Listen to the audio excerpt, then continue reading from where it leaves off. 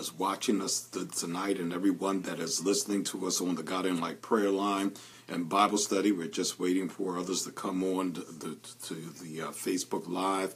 Uh, but we're going to move forward and, and, and go ahead and preach and teach the word of the Lord tonight.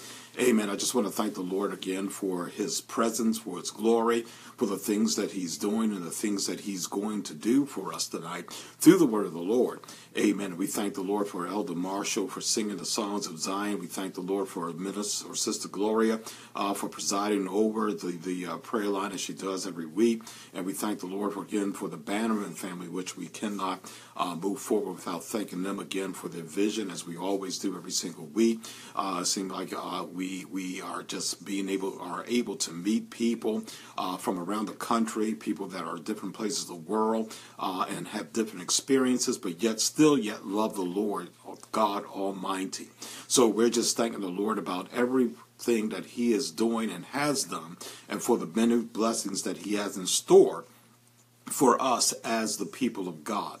So we're going to move forward, and as we pray, we're going to go right into the word of the Lord, which I believe the Lord has uh, given unto me for today for the people of the Lord. Amen. Amen. So let us pray. Father, we thank you. In the name of Jesus Christ, for this day, we thank you for your blessings. We thank you, God, for the great things that you have in store for us. Now, God, as we go into your word, open up our understanding. God, give us the grace and the ability to be sponges, to be soil that is good, that is well nurtured, God, to receive the seed of the word so that the word will germinate, take root in our spirit, in our hearts, and in our minds, that we might live by it, abide by it, and that we might see the fruits of it in the name of Jesus Christ. Now, Father, send your anointing as always that makes teaching, as we state over and over again, profitable to the hearer as well as to the giver. Because, God, without you blessing your word or blessing us to declare your word, then it's mute. It's a mute point. Because God, the power comes through you backing up your word and your spirit, influencing the words that come out of our mouths. So, God, we pray in the name of Jesus again. Send your anointing that makes teaching and preaching profitable to all. In Jesus' great and mighty name we pray. Amen and amen. Tonight, we're going to be talking about something that was laid on my heart earlier today, uh, actually, when I was asking the Lord what to talk about tonight. But the, one of the things that kept resounding in my spirit was the word mercy. And we're going to be looking at that tonight. We're going to be looking at the mercies of God. We're going to be looking at the mercy that we all are in need of. And we're going to talk about the mercy of God as it pertains to how that even influences our lives in our salvation experience. And we're going to talk about many other things associated with that if time permits. So we've already prayed. We're going to go to Psalms, the sixth chapter, the first verse to start off. Actually, we're going to read uh, the sixth chapter of Psalms in its entirety. It's 10 short verses, and but yet it is the word of the Lord. So let us read. We're going to read again, starting at Psalms 6 and 1. It says, To the chief musician of Neginoth, excuse me, upon Sheminith, a song of David. O Lord, rebuke me not in thine anger neither chasten me in thy hot displeasure. Have mercy upon me, O Lord, for I am weak. O Lord, heal me, for my bones are vexed. My soul is also sore vexed, but thou, O Lord, how long? Return, O Lord, deliver my soul. O save me for thy mercy's sake. Return, O Lord, deliver me, deliver my soul. O save me for thy mercy's sakes, for in death there is no remembrance of thee. In the grave, who shall praise or give thee thanks? Which is really states, I am weary with my groaning, all the night make I my bed to swim. I water my couch with my tears. Mine eye is consumed because of grief. It is waxed old because of mine enemies. Depart from me, all you workers of iniquity. For the Lord hath heard the voice of my weeping. The Lord has heard my supplication. The Lord will receive my prayer. Let all my enemies be ashamed and sore vexed. Let them return and be ashamed suddenly. And again, for emphasis, verse 6 and verse 4. Have mercy upon me, O Lord, for I am weak. O Lord, heal me, for my bones are vexed. And 4. Return, O Lord, deliver my soul. O save me for thy mercy's sakes. So when we look at the Psalms, we see that David, who was the pensman of this particular psalm and the psalmist, was really in a place where he needed the mercies of the Lord to be extended unto him. And many times throughout the Psalms, you'll see this theme repeated over and over again throughout the Psalms. But yet, throughout the whole Bible in its entirety, from Genesis to Revelation, we see that the word mercy is repeated over 270 some times, which means that this is a rather significant topic. Whenever something is repeated over and over again by the mouth or the hand of the Lord through those who, whom He has inspired to teach it, there means that there is something to this thing. And most of us need to experience the mercies of the Lord. We need to experience the, the, the, desire of the Lord towards us. We need to know that God is there and present for us. We need to know that mercies can be extended towards us. Oftentimes, we don't fully understand and grasp what mercy means in, in its core or in its raw state. And many of us really, again, need to experience the mercies of the Lord and really walk in that mercy because we've not had mercy extended to us. We've had some form of mercies extended to us, but not the real in depth desire that God desires for us to have. So let me give you start off with the definition of what mercy really means. It means extending leniency or commuting a sentence or forgiving someone who is worthy of death or worthy of punishment or worthy to suffer the consequences of the things of their own actions and their own behaviors, things that they have done knowingly, have they committed sinful acts, they have committed ways that are ungodly, they've committed acts against mankind or humanity that wasn't deserving of favor or mercy. And the thing was that, in, in the Old Testament, everything that we ever did that was sinful was deserving of death. But mercy actually commutes the sentence of death to, to experience the favor of God. So when we talk about the mercies of God, when the scriptures say in Psalms 119, or, or the Psalms that talks about, oh, give thanks unto the Lord for he is good and his mercy endures forever. That person is actually speaking from the depths of their hearts, and knowing what they should have experienced, but knowing the favor of God that was extended towards them by saying, You shall not die but live partially quoting a part of the scripture which says that thou shalt not die but live and proclaim the word of the Lord. But yet God is telling us that we shall proclaim or that we shall live, and mercy is the reason why we live. So when we talk about mercy, we're talking about obtaining God's pity. We're talking about gaining God's loving kindness. We're talking about asking God for mercies, for provisions, and for things that we were not deserving of. But yet, because He is God, not because of any good that we have done, let's make that perfectly clear. There is nothing good that we can ever do to actually warrant receiving the mercies of God. All of our acts of righteousness are as filthy rags in the very presence of the Lord. But God has predestined in his own mind, in his own spirit, and says that he is going to extend unto those who are less deserving of his favor and mercy because he wants to experience fellowship with us. We have to realize that sin separates us from the very heart and mind of God. It makes us God's enemies. We have become enemies of holiness. We have become enemies of righteousness whenever we practice or walk in, in willful sin or when we are unredeemed. Understand, God does not want you or I to be his enemies. He wants us to be his children in close covenant relationship. So mercy extends towards us a privilege that we were not born into receiving.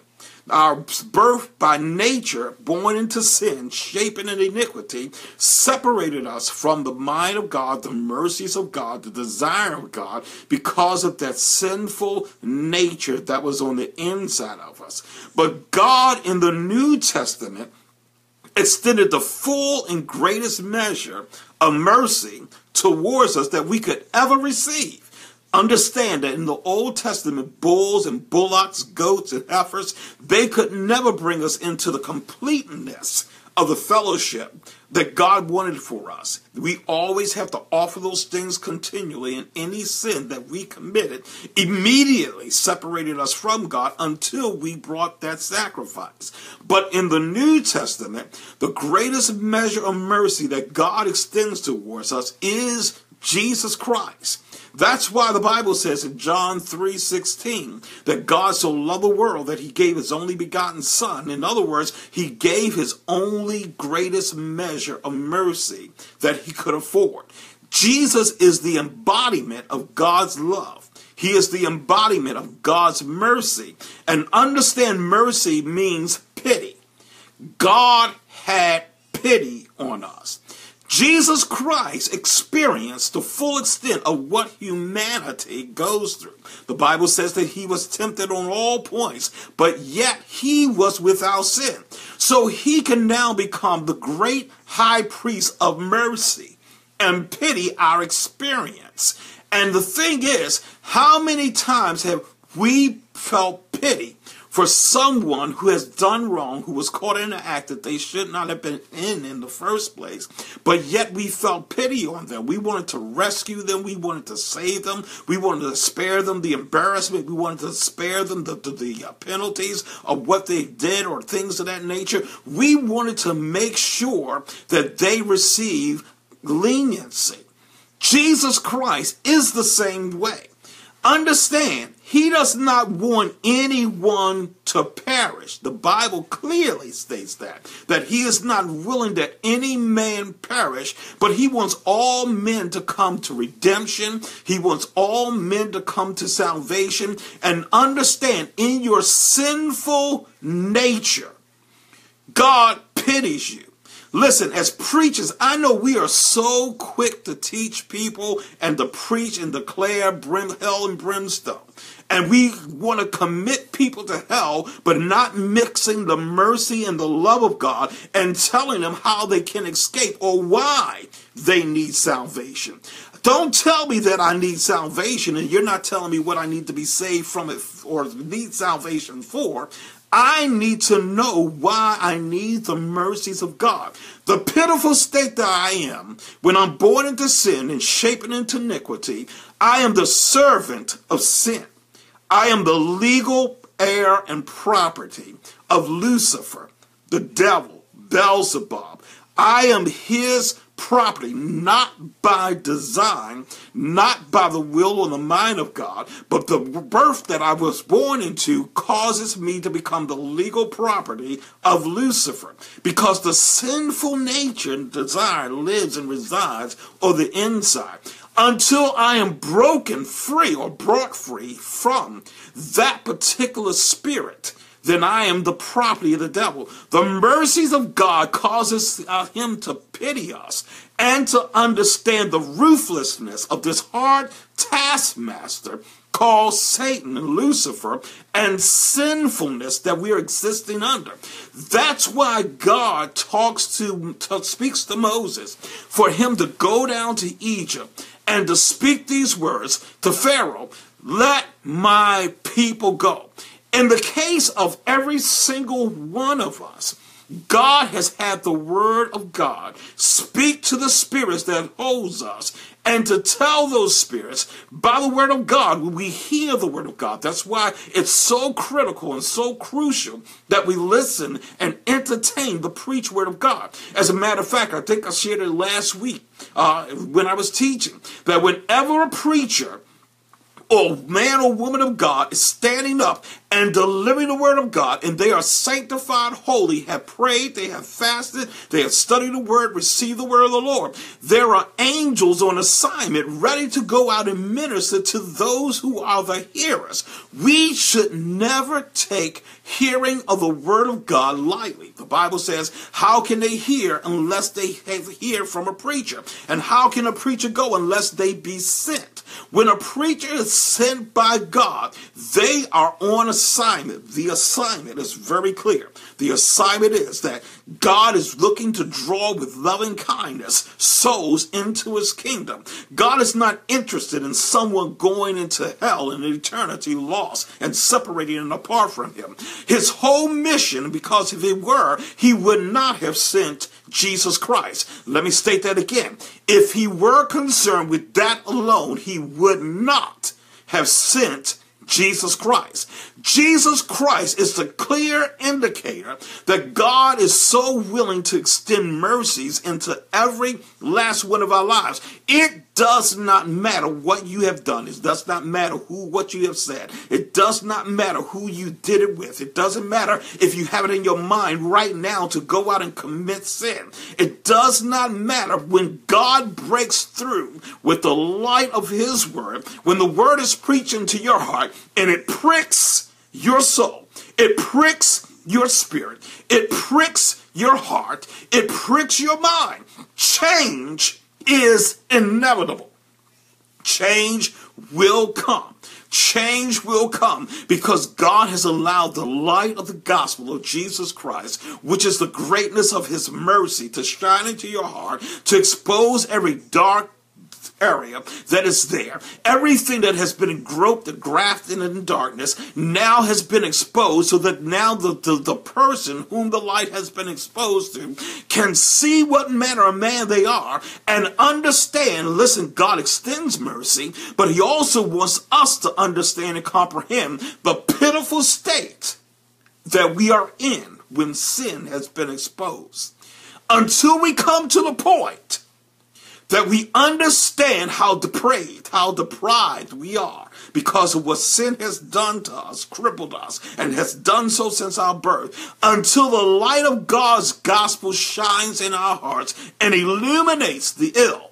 We will not know how to cry out and because of the pitiful state that we in our pitiful state, when we see how pitiful, weak we are, how defiled we are, how depraved we are, how we have been manipulated by sin, how we have been controlled by this vicious spirit, and how it is actually impoverishing us to live the life that God intends for us to live. God wishes for us to be, listen, conquerors, more than a conqueror. He's called us to be kings. He called us to be priests. He called us to be the anointed servants of the Lord. He wants us to be clean and undefiled. He wants us to experience all that life has to offer us. So it means at the same time, although God is wanting to extend mercies to us, we must cry out for mercy.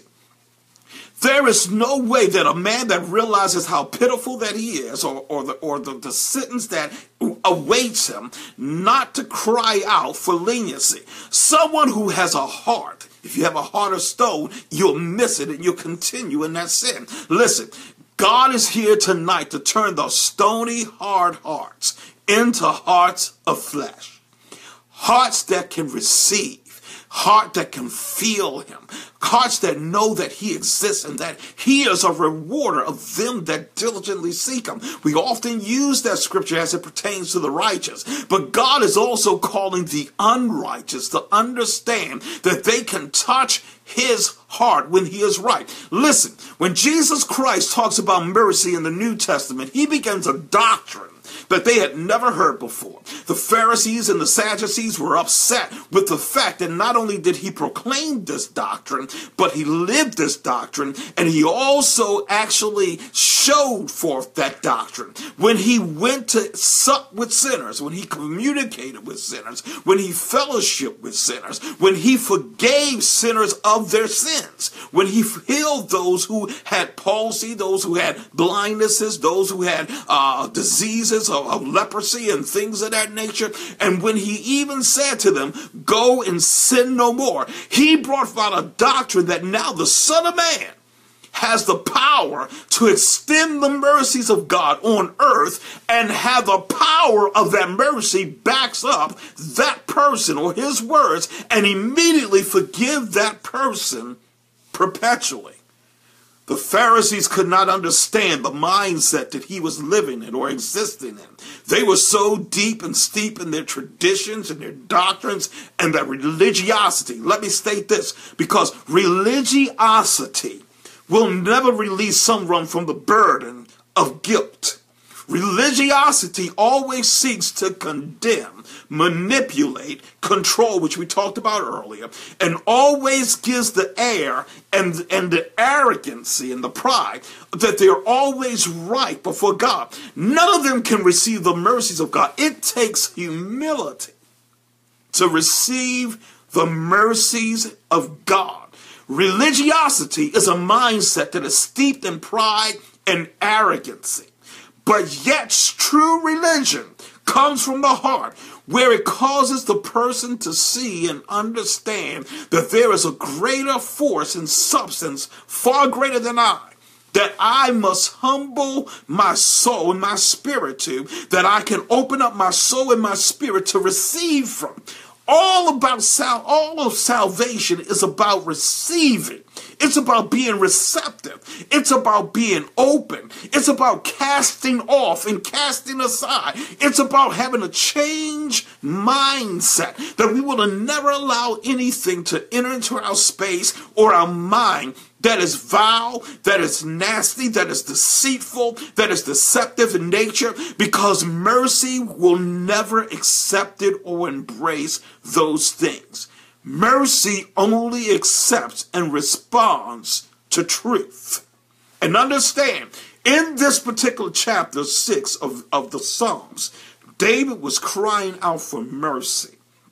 He needed the mercies of God. Listen, some of you that are watching are dealing with court cases. You're dealing with charges that were brought against you.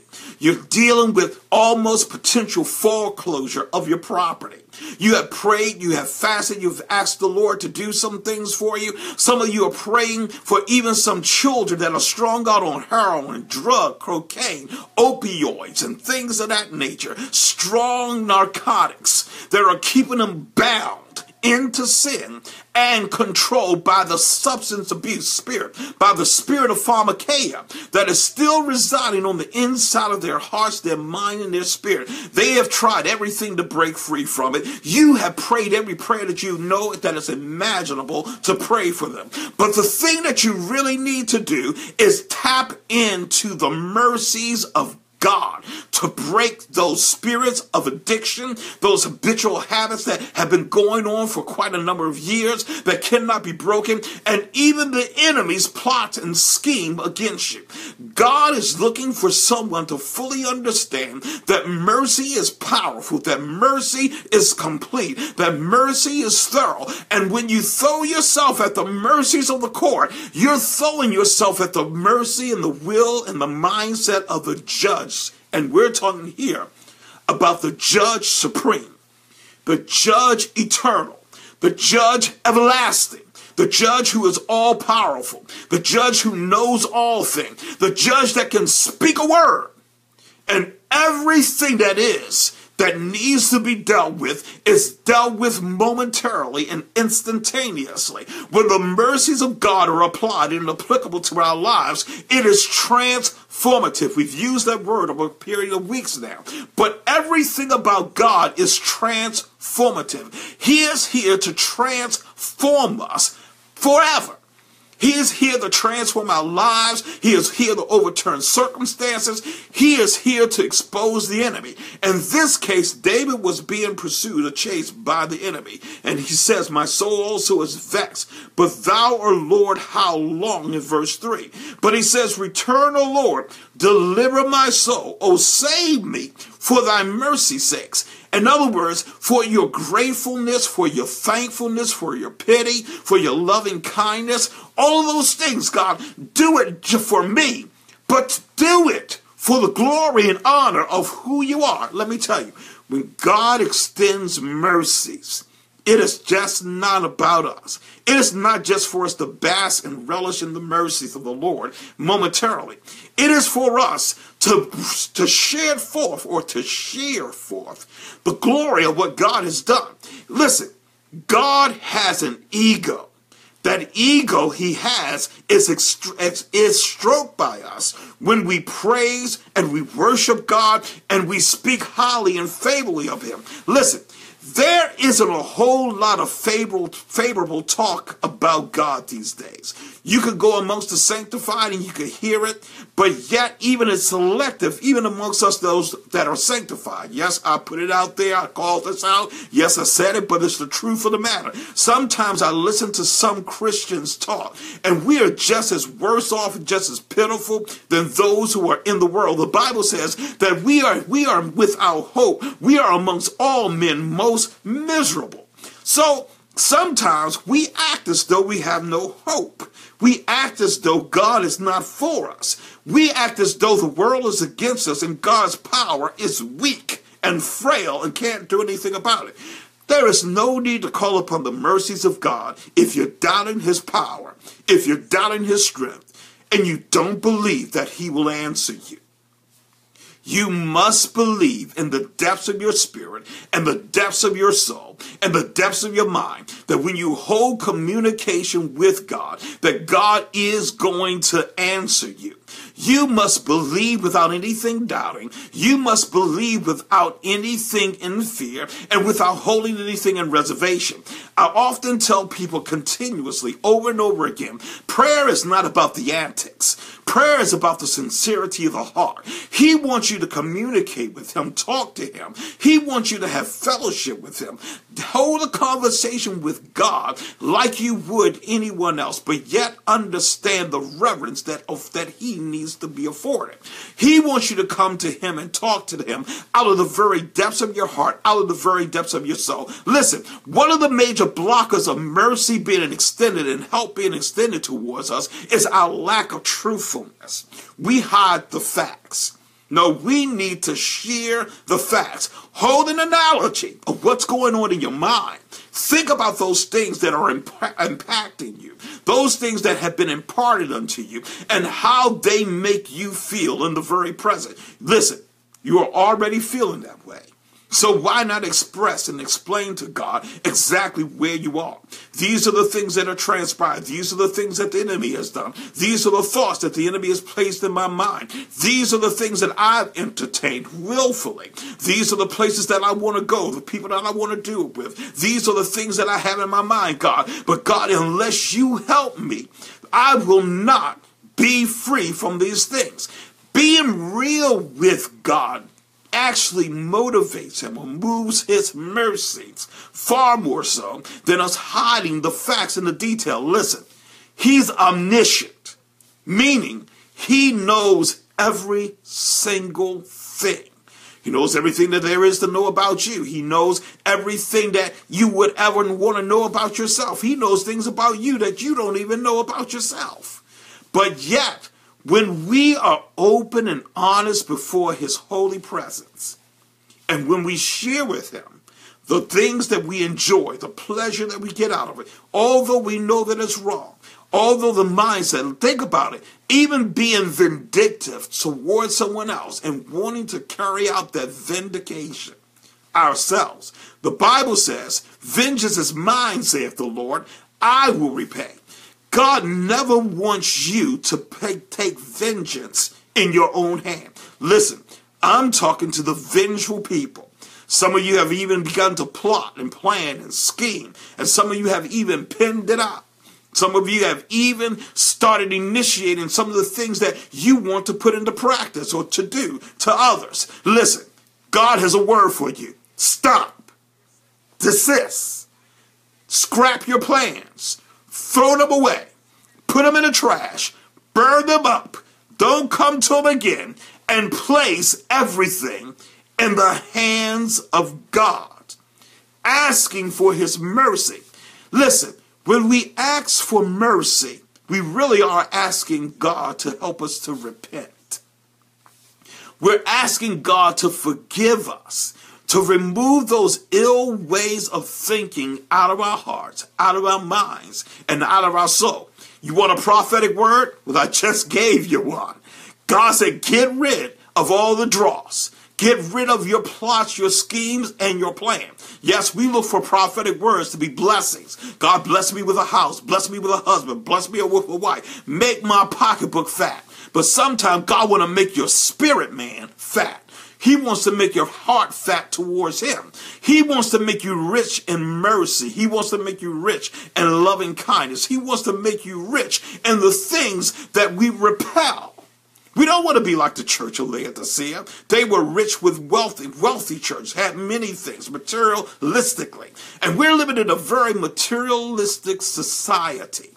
Matter of fact, a couple of weeks ago, I was out at an event, and I had a, the person that drove up was a pastor's ch- a child. Uh, I'm not going to go into any further detail, but they drove up in this three hundred thousand dollar car, convertible, and yet they were so so impressed and talked boastfully throughout the entire evening about the things that they had. No one ever inquired about it. No one ever asked, but they were talking about all these expensive items that they had, and my spirit was sitting there just grieved. What does it profit a man to gain the whole world, but yet lose his very soul? Is your trust in the things or is your trust in God? The thing is, God will make us wealthy in spiritual things, and He would also make us prosper in the natural things if we honor Him first. The Bible says very clearly, seek ye first the kingdom of God and His righteousness, and all of these things will be added unto you. God wants us to crave that which is important and most important above all things. And those things really are the spiritual things that keeps us rooted, grounded, and focused on the real thing. Eternity is our state. We're going to walk in the presence of God for all eternity.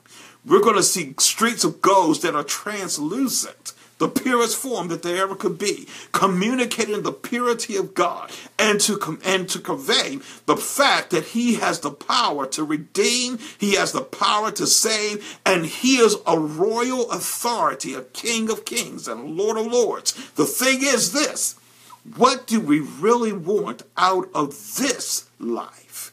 We should be craving the mercies of God for eternity to come not making preparations to stay here. Yes, understand we have to work, we must eat, we must be clothed, we must have transportation, we must have the basic necessities of life. Maslow's hierarchy of needs actually indicates that and state that. We definitely have needs, but listen, our need is for God.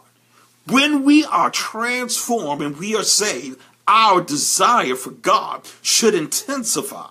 Listen, the intensity of faith has not really been manifested and displayed the way that the older saints used to manifest faith. How they used to believe God for every single thing and believe God even if time stated it was against it. They did not understand time based upon their experience with God. And we're so caught up, listen, in the microwave environment that we miss the fact that God is not confined to the time limitations that we exist in. When we understand the mercies of God, it is for a specific timing. And when the timing comes forth, then everything else precedes it, comes along with it, is attached to it. When we pray for things to happen and mercy is attached to it, listen, favor comes along with it. Favor comes along with it. The anointing comes along with it. Change comes along with it. Shackles are broken and destroyed. Prisoners are set free. People are made happy. The joy of the Lord is extended. Happiness comes forth. And the exuberance of the Holy Spirit manifested within our lives. The full manifestation because of the mercies of the Lord that are extended. Listen, David went on to say that his eyes were consumed because of his enemy. Listen, when the mercies of God are extended, I love this one because the Lord just proved this to me over the past couple of days. Listen, whenever the enemies are against you, the enemies of the Lord, and your enemies are against you naturally as well as spiritually, when God extends mercy towards you because you have wept, you have wailed, you have cried, you have felt the pressure. Some of you, some of you have been in the pressure cooker of life recently. And listen, God is saying your weeping and your tears have come up before my presence as a memorial. It is standing before me in bottles. I hear your tears. I see your tears. And every single drop that you cry was a prayer in my presence. Listen, when God recognizes your prayers and he extends mercy towards your prayer, every enemy that has set up a trap for you, listen, is exposed. Every plot is revealed. And listen, the enemy in this instance, when God extends mercy, tells on themselves. You don't need anybody else to expose the plot, the scheme, or the plans of God. The enemy himself will tell you what his plots and schemes are. I just had it happen to me realistically within the past couple of days. A person in their haste exposed themselves and told the full details where they were plotting and scheming against myself and someone else, but yet in their anger and their haste, and because I believe prayer and God dealt with them and made them expose themselves. Listen, the enemies that are trying to tear you down will expose their plotting schemes to persons unbeknownst to them that are aware of what they're attempting to do, and they will be able to counteract by the Spirit and the mind of God and to pray and to expose them so that God Himself will bring down the plots of the enemy and the ditch that they've dug for you. Listen, they have successfully dug it for themselves. They have laid out their own demise, their own scheme. And listen, the power of their plot and their schemes will be sucked out of it, just like air in a balloon. It will float off into the expanse of nothingness and will not be able to be forged against you. Listen, the Bible says this the weapon will be forged, but it shall not prosper. Some of us are crying over the forging of the weapon. I don't care what furnace they forge this iron in. I don't care who they assign to be a part of this scheme. I don't even care about their intellectual abilities and their ability to put things together at the highest of levels. Listen, when God says something will not prosper, mercy backs it up and says it will never even get off the ground. It will never even move from the planning stages and into the place where it's being acted upon. It will be throttled, it will be destroyed, it will be demolished long before they even have an opportunity. I don't care what their title is, I don't care what their position is, I don't care how many demons are associated with it. I don't care how many witches they even involve in the process. Listen, witchcraft cannot prosper against the people of God. Listen, the plans of God are the only thing that will prosper. God is into blessing his people and exposing the enemy. The question is, do we realize the power of God to expose the enemy and to defeat him. One of the things that God loves doing is rescuing his people. There is something about the spirit of oppression that moves the heart of God to deliverance. God never wants his people to be oppressed, depressed, possessed, or controlled. He wants his people to be set at liberty. One of the things that really bothers me over and over again in my even my profession i have opportunity to speak with people that go through numerous types of challenges in life. Some of them are extremely devastating. Some of them are extremely hard. And one of the things that always bothers me grieves me and vexes my spirit at its very core is the fact that they're dealing with this spirit of oppression. God has come to set the captive at liberty. Listen you do not have to sit in the place of despondency or despair and eat the bread thereof. That is not something that was baked for you. Yes, the enemy has served it up, and some of us have purchased it from the menu of his of his delicious items. But the spirit of oppression and depression and possession it's never something that God wants his people to be involved in or entangled in or snared. Mercy is always there as the spirit of deliverance. David talked about it even in this particular chapter. He said, Let all mine enemies be ashamed and sore vexed. Let them return. Listen, let them return and be ashamed suddenly.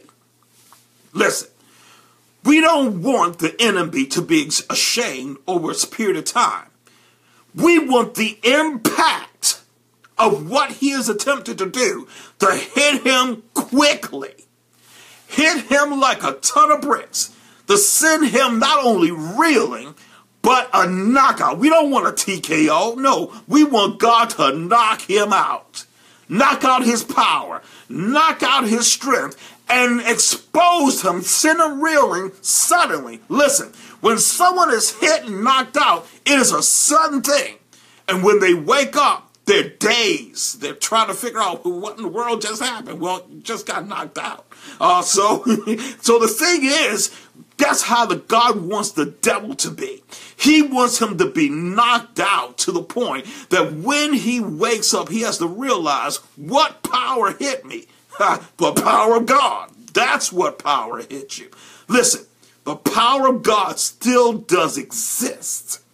The power of God still does exist. Listen, I've listened to a group of young people talk over the past couple of weeks about how they're disgruntled or they can't experience the power of God. Listen, maybe you're hanging out with the wrong people or attending the wrong church. You need to get with someone who has fasted, someone who has prayed, someone who is on fire for the Lord, someone who believes this thing with all their heart, with all their soul, with all their might, and are living this thing and have a connection with God are able by the power of God. I talked earlier about the angelic beings beings that back up the man or the woman of God, that have angels standing at the ready. Hallelujah, Jesus, on command by God. When the word starts coming out, the power of God goes forth. Why? Because the angels of God are encircling the holies of holies in the holy place. And when we communicate the word of the Lord, we are being transformed. We use that word over and over again tonight. You are transformed out of this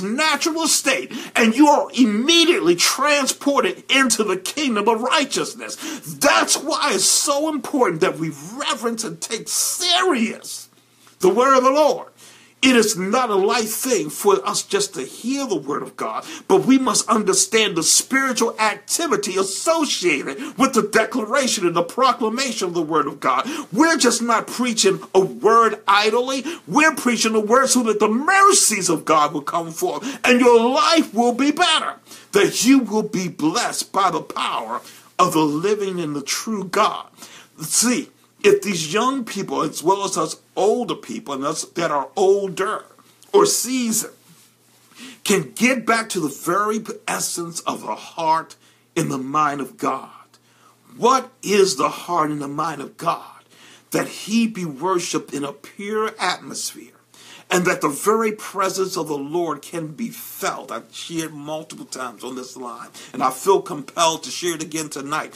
When I first before I came to salvation, my mom had asked me to go to church with her. It was an apostolic church, and and and and she kept asking me over and over again. I was in the service, and when I would come home on the weekend, I was about doing my own thing. I wanted to party. But she wanted me to go to church with her in my uniform. So I said, okay, mom, I consent. I go. I yield. So when I got there with her, the let me tell you, the power of God was so strong that I squirmed the entire time in my seat. I was looking for the nearest exit. And hear this I was praying to God, whose presence I was feeling and experiencing, for the service to be over with. It seemed like the more I prayed for the service to be over, the longer the service seemed to go on. And the people of God, which I never experienced before, was so enthusiastic, so excited, so exuberant and celebrative, where they worshiped everything that was going on, every song they sang. It's like they were into it with all their hearts, all their minds, with all their souls. And I just could not understand these people. I was coming from a boring Baptist church. Okay, I know there's probably some Baptists on the phone, on the line. I'm not trying to offend. I'm trying to share my experience. But yet, the thing that got me over a year later, after my mom passed, is that I knew that there was something about the way that she lived and worshiped. And I recall feeling the very presence of the Lord, something that I had never experienced. And I craved and I want that, wanted that. Listen, we have to create an atmosphere in our places of worship, in our church services, where the people that come in that are broken, that are lost, that are hurting, that are in pain, that need the mercies of God to deliver them, can not only hear about God, but experience God by feeling Him in the place of worship. Understand that God really wants us to experience Him, excuse me, at His best. He never wishes for anyone to come into a place of worship and leave without knowing that He exists. The Bible said that He exists and that He is a rewarder of them that diligently seek Him. How can we know that He exists? Unless we feel his presence. You never know that I existed until you saw my image.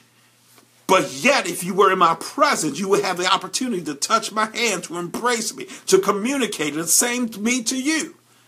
But yet, we understand through this venue of media and cameras and things of that nature and social media that we can reach out and see our brothers or our sisters. But God is a very present help, the Bible tells us.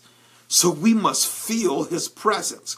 We need to pray to the level of intensity that anyone that wishes to feel the presence of the Lord can feel him, know him, and know that this power exists in the earth and in the heavenly realms. Most people don't believe God exists because they've never had an encounter with him. It is so easy to become disillusioned and not believe when you don't have that type of encounter with the Lord.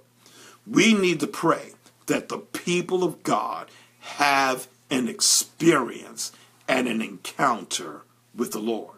We want to continue our conversation, but our time is up. For any of those that wish to dialogue with us, continue after the, for this few moments, we're going to reconvene in just a few moments. But you can call 910-218-0531. That's Guiding Light's prayer line. If you want prayer, you want to talk, you want to share with us, we want to communicate with you. We love the dialogue. Amen. And we're usually on this line uh, pretty late. So please call, uh, share with us what you want to share with us. Let us know where you are. Listen, we are all in this thing together. There is no big I or no little you. We are not here to condemn you. We're here to love you. And we're here to point you in one direction to Jesus Christ, the Master, the gift of God, who has the full extent and full power of mercy in his hands and in his bosom. Listen, if you don't want to come on the, the, on the prayer line and call in before you leave, I want you to know this that God loves you and he cares about you and he's concerned about every aspect of your life. Never believe the lies of the devil that he's that God is saying to you that he could kill us. That is not the God that we serve. His mercy proves that he cares. Again, if you want to call in and continue the dialogue with us, the phone number to call in just a very few moments is 910 218 0531. Once again, 910 218 0531. We love you with the love of the Lord. We bless you. Every Wednesday night at this time, we will be here from 9 p.m. until the preaching or the conclusion of the preached word of God. God bless you. We love you. Have a wonderful week in the Lord. And we look forward to hearing from you because Jesus is Lord and Lord of all. Have a wonderful evening. God bless each and every one of you.